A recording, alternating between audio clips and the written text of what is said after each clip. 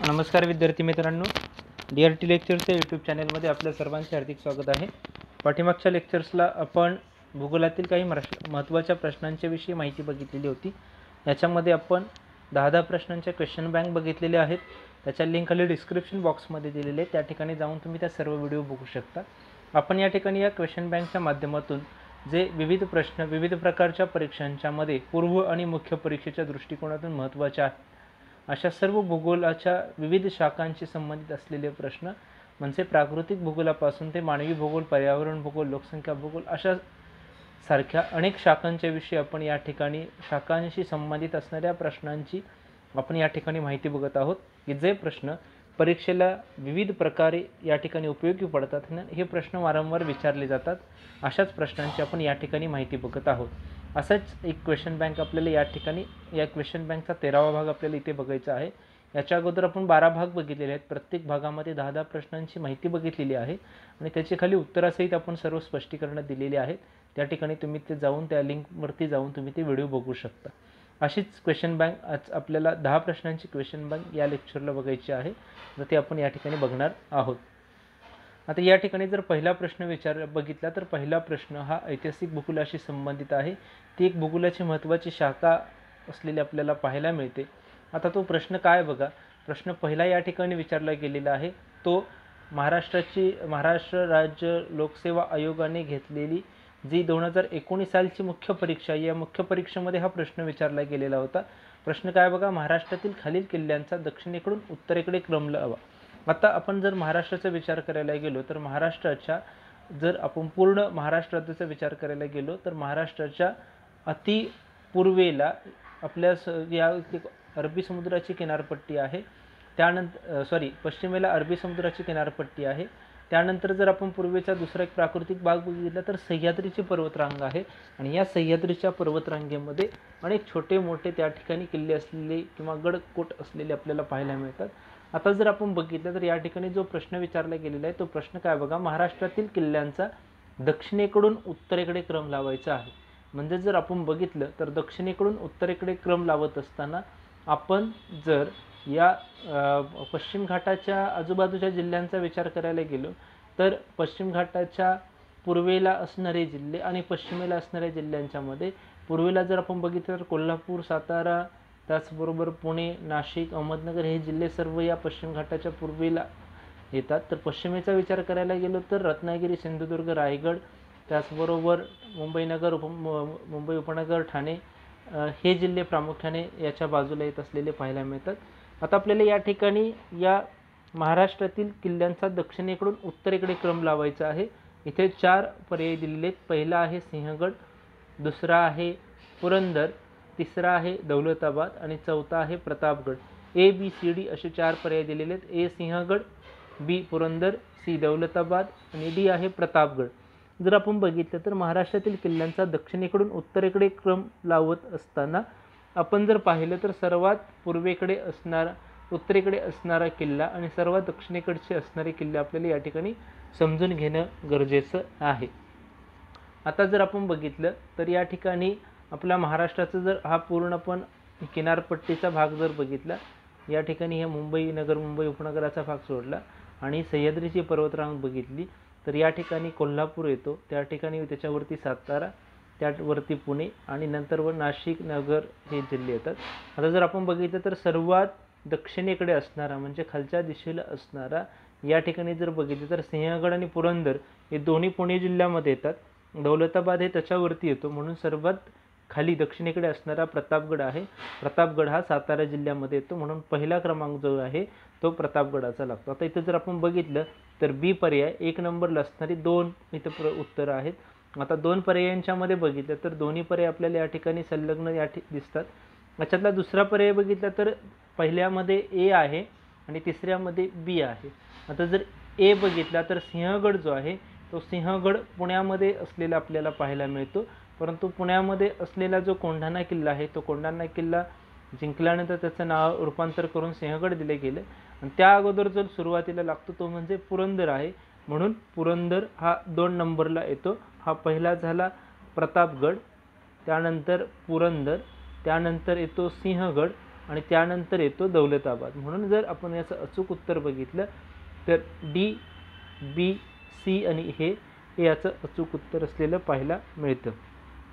म्हणजे महाराष्ट्रातील किल्ल्यांचा दक्षिणेकडून उत्तरेकडे क्रम लावत असताना पहिला किल्ला येतो प्रतापगड दुसरा किल्ला येतो पुरंदर तिसरा सिंहगड आणि चौथा येतो दौलताबाद. आता हाच इंग्रजीमध्ये प्रश्न कसा विचारला आहे बघा. Arrange the following forts in Maharashtra from no south to north म्हणजे दक्षिणेकडून उत्तरेकडे त्याचा असलेला क्रम. म्हणजे आपल्याला दोन्ही भाषेमध्ये ते प्रश्न समजले पाहिजे दुसरा प्रश्न खाली काय बघा? खालीलपैकी कोणता शुष्क प्रदेशातील संचयन भूरूप नाही? आता शुष्क म्हणजे कोणतं? तर शुष्क म्हणजे वाळवंटी प्रदेश किंवा कोरडा प्रदेश. आता आपण याच्या अगोदर वाऱ्याच्या खनन कार्याप्रमाणे तयार होणारी भूरूपं त्याचबरोबर खनन वहन संचयन कार्यामुळे तयार होणारी भूरूप बघितली. नदी हिमनदी त्याचबरोबर भूजल आहे. या सर्वांच्या खनन वहन संचयन कार्यामुळे तयार होणारी भूरूप आपण बघितलेली आहेत. आता इथं प्रश्न काय विचारलाय बघा खालीलपैकी कोणता शुष्क प्रदेशातील संचयन भूरूप नाही? संचयन म्हणजे डिपॉझिशनल लँडफॉर्म डिपॉझिशनल म्हणजे काय? तर ज्याच्यात माध्यमातून संचयन होऊ शकतं अशा प्रकारचं भूरूप. खाली जी भूरूप ही चार दिलेली आहेत या चार भूरूपांच्यापैकी असं कोणतं भूरूप आहे की ते संचयन भूरूप नाही? याच्यासाठी चार ऑप्शन आहेत. एक आहे वालुकागिरी दोन यारदा तीन लोएस आणि चौथं आहे उर्मी चिन्हे आता संचयन भूरूप म्हणजे डिपॉझिशनल म्हणजे एखाद्या ठिकाणी खंडन करून दुसऱ्या ठिकाणी ज्या वेळेला भूरूप एखादं साठवलं जातं त्यावेळेला आपण संचयन भूरूप आपण म्हणतो. आता या ठिकाणी वाऱ्याच्या संचयन कार्यामुळे तयार होणारी जर भूरूप आपण बघितली तर या ठिकाणी इथं चार पर्याय दिलेले आहेत. एक वालुकागिरी आहे अर्धांग आहे लोईस आहे उर्मी चिन्ह आहे. याच्यातील आपण जर बाकीचं बघी वा वालुकागिरी बघितलं संचयन कार्यामुळं तयार होतं. यार्दांग आहे हे खनन कार्यामुळं तयार होतं.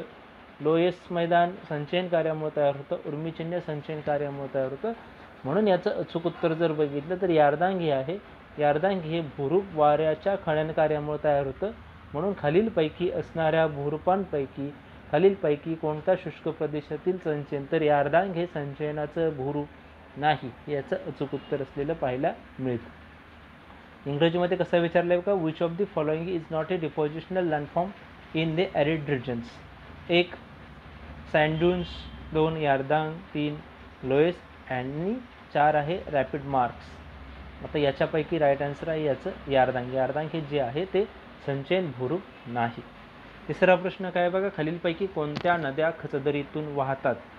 एक भीमा कोयना दोन वर्धा वैनगंगा तीन तापी नर्मदा चार Godavari Krishna.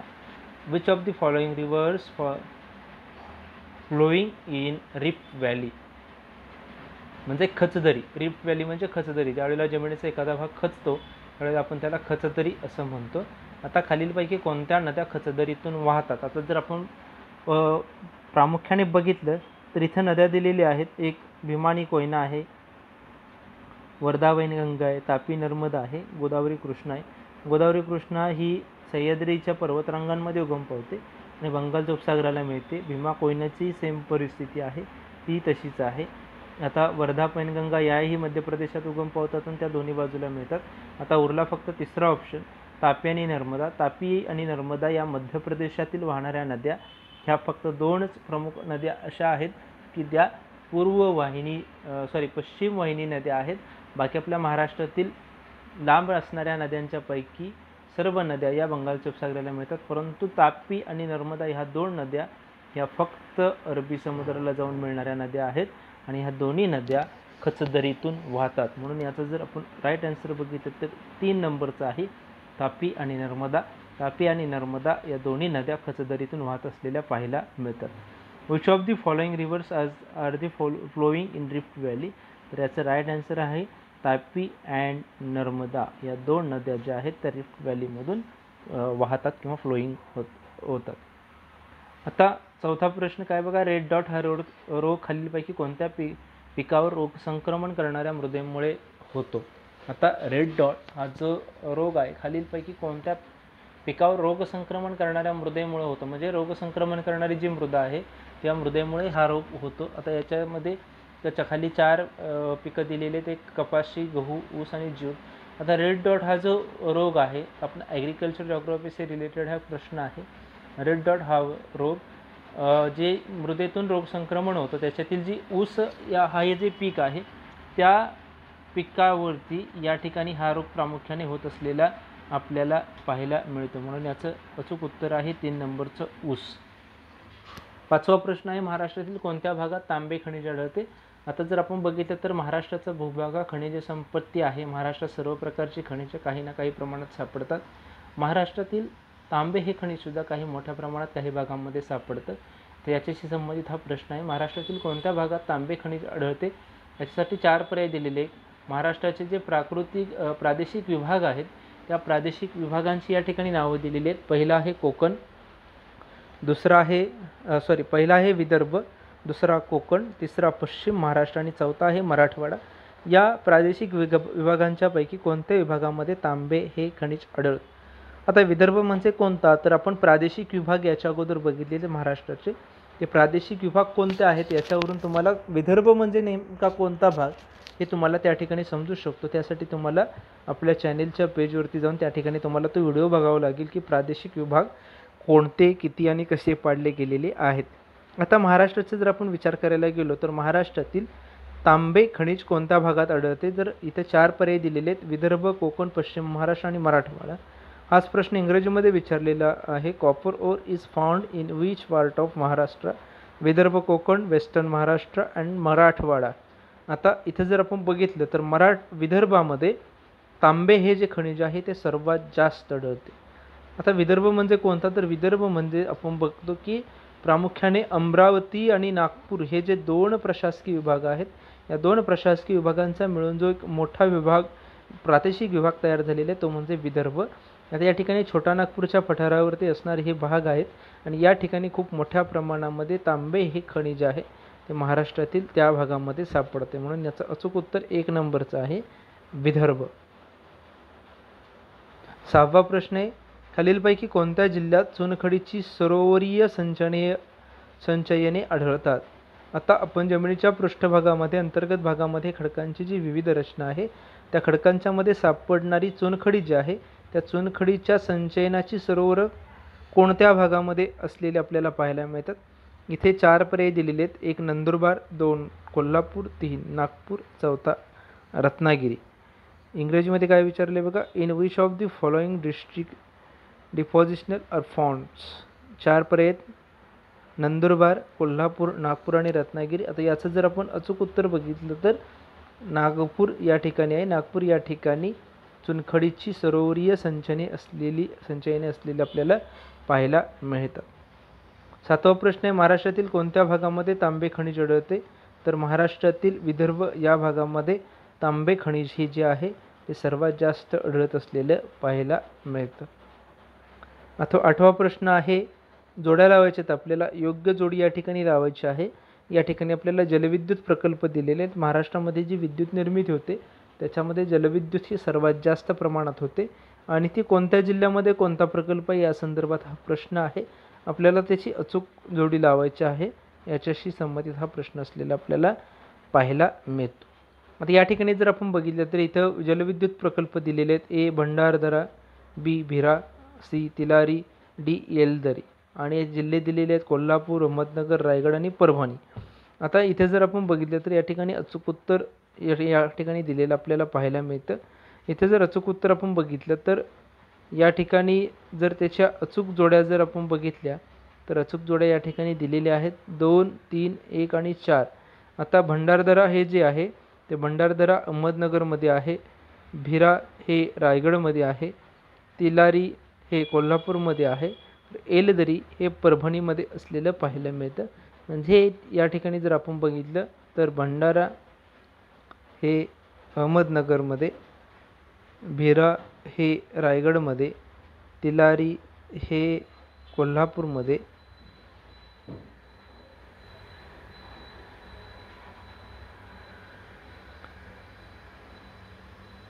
भंडारा हे अहमदनगरमध्ये त्याचबरोबर भिरा हे परभणीमध्ये तिलारी कोल्हापूरमध्ये आणि एलदरी रायगडमध्ये असलेलं आपल्याला पाहायला मिळतं. नववा प्रश्न हे हा वन्यजीवांशी संबंधित आहे. टिपेश्वर वन्यजीव अभयारण्य खालीलपैकी कोणत्या जिल्ह्यामध्ये स्थित आहे? आता टिपेश्वर हे जे वन्यजीव अभयारण्य आहे ते कोणत्या जिल्ह्यामध्ये आहे असं या ठिकाणी प्रश्न आहे. तर हे अभयारण्य कुठं आहे ते आपल्याला या ठिकाणी सांगायचं आहे. या ठिकाणी चार पर्याय दिलेले आहेत चार जिल्ह्यांची नावं दिलेली आहेत. हे सर्व जिल्हे जर आपण बघितले तर विदर्भातील आहे गडचिरोली नागपूर यवतमाळ आणि अमरावती. या चारपैकी टिपेश्वर हे वन्यजीव अभयारण्य कोणत्या जिल्ह्यामध्ये आहे? या ठिकाणी आपल्याला सांगायचं आहे पहिला प्र प या ठिकाणी पर्याय आहे टिप गडचिरोली नागपूर यवतमाळ आणि अमरावती. आता टिपेश्वर हे जे वन्यजीव अभयारण्य आहे ते महाराष्ट्रातील यवतमाळ या जिल्ह्यामध्ये असलेलं आपल्याला पाहायला मिळतं. म्हणून याचं अचूक उत्तर तीन नंबरचं आहे यवतमाळ. दहावा प्रश्न आहे खालीलपैकी कोणता हरितगृह वायू थेट मानवी क्रियांमुळे एकवटत नाही? आता खालीलपैकी जर आपण बघितलं तर कोणता हरितगृह वायू थेट मानवी क्रियांमुळे एकवटत नाही? जर चार पर्याय दिलेले गोझन पाण्याची वाफ कार्बन डायऑक्साईड आणि मिथेन जर बाकीच्या जर क्रिया बघितल्या तर त्या बाकींच्या क्रियांच्यामध्ये हरितगृह वायू जो तयार होतो तो मानवी क्रियांमुळे तयार जास्त प्रमाणात तयार होतो. पण पाण्याची वाफ जर बघितली तर पाण्याची वाफ ही मानवी क्रियांमुळे थेट मानवी क्रियांमुळे वातावरणात एकवटत नाही. म्हणून याचं अचूक उत्तर तीन नंबरचं आहे पाण्याची वाफ. आता अशा प्रकारे या ठिकाणी आपण हा एक क्वेश्चन बँक बघितलेली आहे. याच्यामध्ये जर तुमच्या काही शंका असतील तर तुम्ही कमेंट बॉक्समध्ये लिहू शकता. त्याचबरोबर व्हिडिओ आवडल्यास लाईक करा शेअर करा आणि जास्तीत जास्त सबस्क्राईब करा. थँक्यू